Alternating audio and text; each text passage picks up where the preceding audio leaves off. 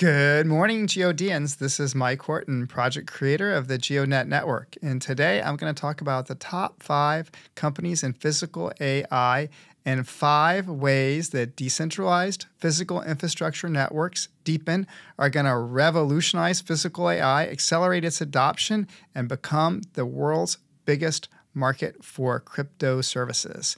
So, number one is Waymo. Waymo has mastered level four autonomous driving with operational vehicles in Phoenix, San Francisco, and LA, a roadmap to Austin, Miami, and Tokyo, driving over a million miles a week as a fully driverless Uber. These things navigate the city streets using all kinds of sensors LiDAR, radar, IMU, GNSS, and incredible amounts of training data an amazing technical accomplishment. Number two is DJI. So, DJI is the world's largest manufacturer of drones. They started from humble beginnings in 2006, building autopilots for model helicopters. In 2012, integrated the now famous Phantom drone, which really brought mass market consumers into drone photography.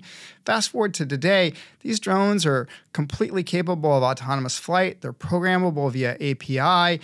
They have their own system on a chip technology, radio technology, LiDAR technology, and span vehicles from under 250 grams through ca- vehicles capable of drone delivery and autonomous spraying, all at mass production scale. So DJI is a true master of physical AI. Number three is Tesla. So Tesla is the electric vehicle company, um, and they've started on autonomous driving or full self driving, as they call it, back in 2014. And they've scaled that out to millions of vehicles and done tremendous work on the development of autonomous driving using very cheap consumer sensors, cameras, and basic sensors on a passenger vehicle. Uh, automotive vehicle. Amazing work. In 2019, they started the development of humanoid robots. Now, with Elon's newfound political power and over 2 million registered vehicles on the road, there's no doubt that Tesla will continue to be a powerhouse in physical AI products and services.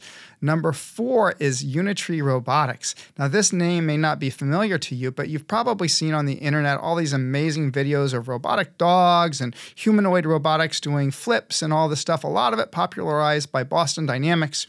What Unitree brings to the party is scalability. So their robotic dogs are really capable machines starting at $1,600. They've introduced a robotic humanoid robot at 16 grand, and there are groups all over the planet now building the next generation of physical work services using robots on top of the Unitree platform. So watch that space.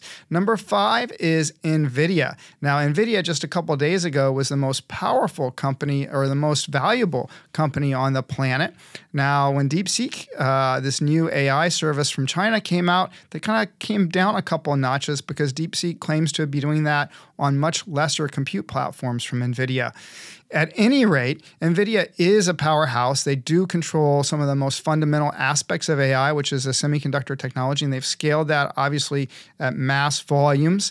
They are a powerhouse in physical AI as well with a couple of key products. One is the Jetson. These are like Raspberry Pis, but they're supercomputers and they're used on lots of robotic vehicle designs. And they also have their drive stack, which is becoming very uh, uh popular in autonomous ADAS systems and uh, Mercedes Benz, Volvo's adopted that. They made an announcement at CES regarding a partnership between themselves, Aurora, and Continental to scale out self driving services for trucking. Now, these top five physical AI companies you are they going to take over the world? Are they going to be the end all be all? No. I think that DePIN is going to really revolutionize physical AI, shake up the space, and help it scale to really mass market uh, deployments. And why is that? There are, there are some big barriers that centralized entities have in the development of physical AI. And let's talk about those top five things. Number one is cost. We can look at Waymo as an example. So Waymo is operational in three cities. In the last two years, since it's uh, spun out of Google, they've raised over 11 billion in capital to scale this business. It's incredibly expensive. And think about all the work they're going to have to do when they take, say, the Waymo vehicles and move them to New Delhi. It's a totally different operational environment. There'll be lots of training and relearning all the things that need a lot of engineering and support. How are they going to scale that? Number two is global infrastructure. GEODNET's a great case example. These robots, if they're going to navigate our outdoor environments, they'd like to have precise location services. And those services to date haven't existed globally and been available at low cost. But GEODNET, as a DePIN network, is changing that. We've been able to build a network that's bigger than any network on the planet in, in record time and offer those services availably affordably. And this is not true just in hyper precise location services, but you can also think about communication, energy infrastructure, HD mapping protocols like ROVR. I'm really excited about. They're actually doing the hard work that these autonomous car companies have been doing to kind of instrument vehicles with LiDAR and do a pre HD mapping of cities. This can be done by DePIN. Hivemapper, NATIX, also super important protocols to scaling out these services. Number three is privacy. So these machines, these robots, are data sucking, personally identifiable data sucking machines. And this is a, is a should be a cause for alarm to everybody. Web3, things like ZK offer really unique solutions to get that data and do it in a privacy preserving way. So I think Web3 offers some really innovative solutions to protect privacy while still enabling these machines to do their thing. Number four is regulatory. And I wanted to use an example of Cruise Automation's incident in San Francisco. So back in October 23, a cruise vehicle um, kind of ran over essentially a, a passerby and dragged them around. It's a little unclear how the passenger got trapped under the vehicle, but at any rate, it dragged the, the person around and then they went and they covered that up. That eventually came out. The NTSB investigated. They were pressed criminal charges. They ended up um, having to pay a big fine and took a very big black eye, which actually led to the demise of cruise automation in San Francisco. This type of thing, public ledger technology, blockchain technology, offers a way to track transactions that these vehicles do and what actions they're taking. And I think regulators are actually going to demand that as these services scale out into the public uh, into the public wild. Number five is open source. So Web3, blockchain, crypto, big promoter of open source.